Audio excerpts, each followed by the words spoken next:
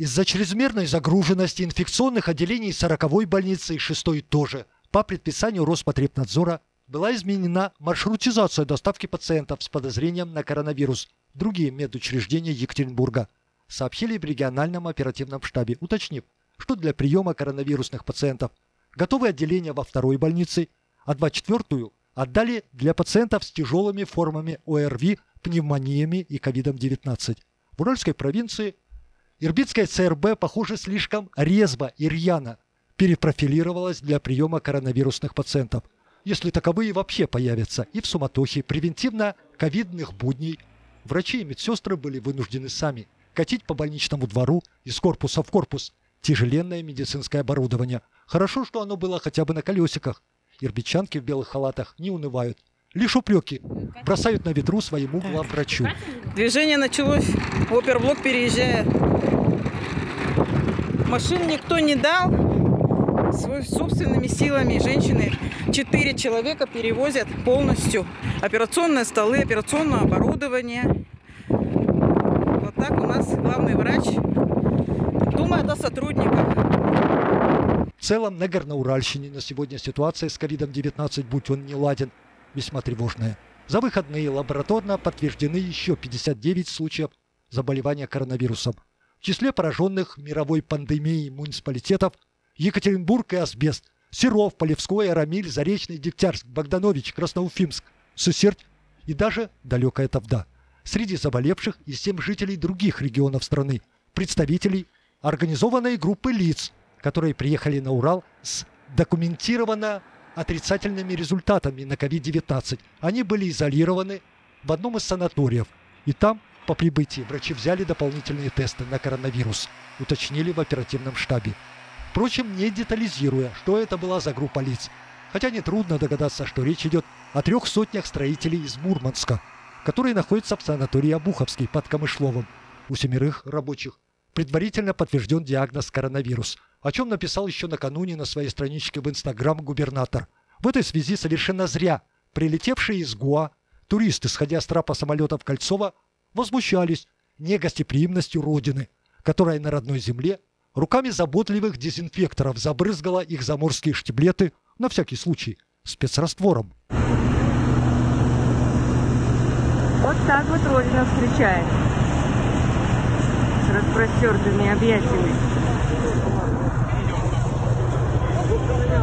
Впрочем, о суровой изоляции прилетевших из Индии и Арабских Эмиратов мы еще поговорим, но позже. А пока вернемся к грустной статистике последних дней. Всего за время пандемии на Горноуральщине COVID-19 подтвержден у 454 свердловчан, включая, разумеется, и приезжих. Состояние 17 госпитализированных с коронавирусом тяжелое. У 73 средняя тяжесть, у прочих твердый УД. За последние сутки из больниц выписаны 9 пациентов, а суммарно их 97.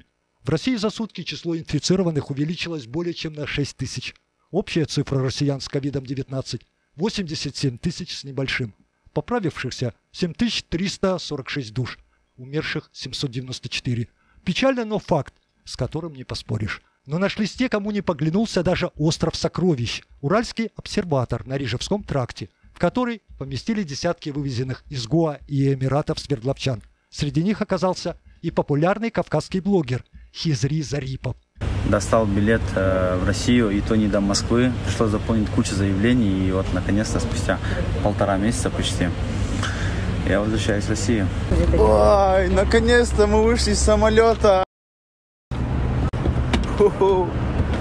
Это безумие. Ну вот так вот, собственно, и выглядит карантин. Это и э, самое страшное, что выходить с комнаты нельзя, нас просто закрыли. Случайная попутчица Хизри по вынужденному авиарейсу из Эмирата Виктория возмущалась, хоть и в полголоса тем, что, дескать, и комната в обсерватории ей досталась ужасная.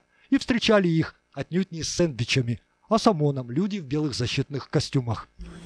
Полотенца всякие, прокладки, шампуни, там бритва, все это, короче, есть.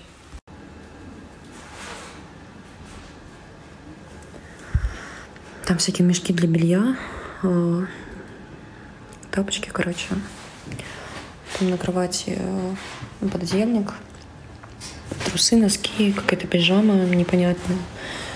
Углубляться в подробности якобы житейских неурядиц за казенный счет мы не будем, тем более, что остров Сокровищ, куда накануне доставили не только путников из Дубая, но и 62 туриста из Гоа. К слову, тибетские монахи на борту того рейса тоже были, но все они вышли в Новосибирске.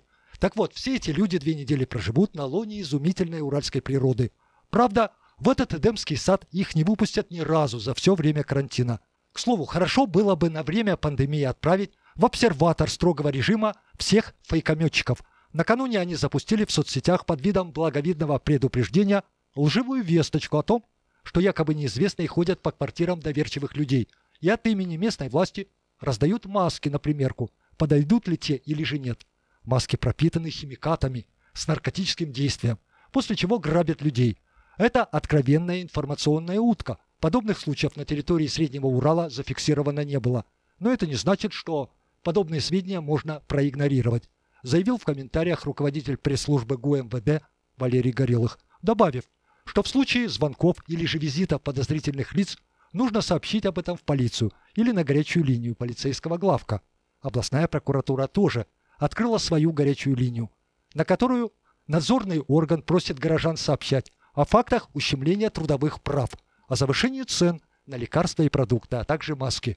В Ирбите шустрый бобер Ночной порой, вероятно, тоже хотел сбегать в аптеку за маской от коронавируса, но та оказалась закрыта, и храбрый зверек отправился на соседнюю улочку советскую, вероятно, рассчитывая на то, что хоть там отыщется круглосуточная аптека. Боберчик, красавчик. Шлепает парень-то, шлепает сам собой. Ты ж мой хороший. Все, погнал по Комсомольской, сейчас на Советскую. Бульваре парень. Коронавирус.